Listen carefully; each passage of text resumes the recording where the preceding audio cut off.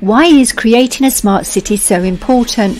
The world's population is growing fast, and in the next 30 years, the population will be over 10 billion people. This is a problem because there isn't enough room for everyone to live in a city. In order to solve this problem, we need to redefine what a city is. One solution is a smart city which uses technology to make living in a big city more comfortable and sustainable. This increases the living space and allows people to live closer to their jobs.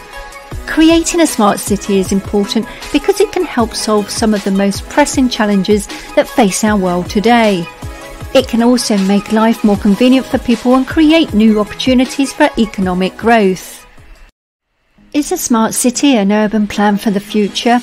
A smart city is a city that's been designed and built to use technology to improve the quality of life for its residents, reduce costs, and increase efficiency. Smart city benefits are numerous. It can provide a better environment for its citizens. It can provide better services for its citizens. It can be more sustainable than other cities. And it can be more efficient than other cities.